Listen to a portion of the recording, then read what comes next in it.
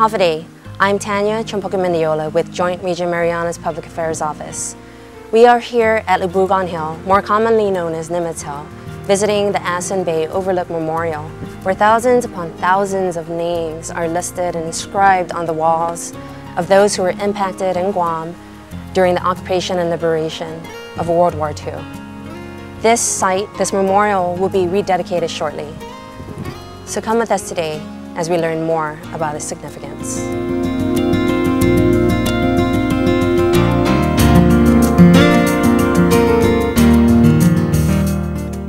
The National Park Service Park Ranger Dan Brown joins us today to talk about the significance of the wall and an upcoming rededication service. Thank you for joining us today, Dan. Hey, Tanya, thanks for you guys for coming up to the site. Um, you've picked a great day to come up here and view the names on the walls, um, and I hope your viewers will take equal opportunity over the next couple of weeks. Yeah, absolutely. It's a beautiful site, and what what has been done with it is absolutely amazing.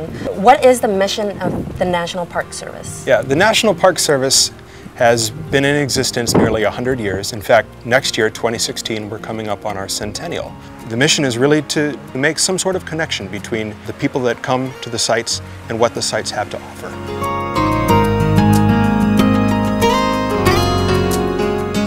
Here at War in the Pacific National Historical Park, there tend to be a little more personal in nature too.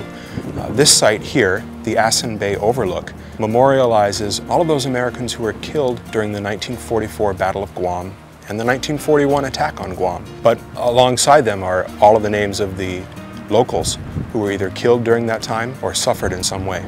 How many names do we have here at the memorial? Overall, we have 17,771 names. How did the National Park Service attain these names? The list of local names was compiled by the Office of the Governor and the Office of the Congresswoman and then furnished to us. And we took the list of military killed in action from military records.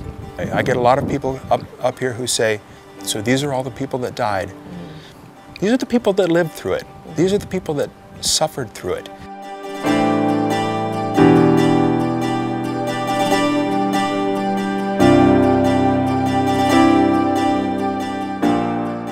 Come together today to rededicate a memorial wall that has been updated and reconstructed to serve as a reminder in stone of the American servicemen who were killed and people of Guam who were either killed or suffered greatly during the World War II occupation of Guam and its liberation by U.S. forces through July of 1944. Over the past several months, the, the Park Service has worked to refurbish the memorial wall.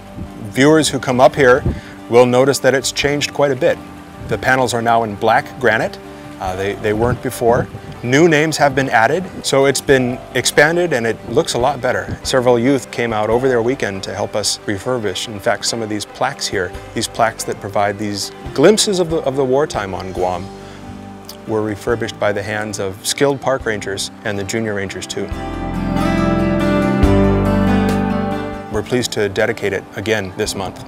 Rededication is great, but you know, it, it means nothing if people don't come and, and check it out for themselves. And so I would encourage your, your viewers to come. We're open every day up until 5 o'clock. Uh, come and take a look at the walls. Come and take a look for your, for your relative's name or a friend's relative's name. All the way across the Park Service from Yosemite to Pearl Harbor to War in the Pacific on Guam, people are looking for connections and a lot of those connections are right here at this site.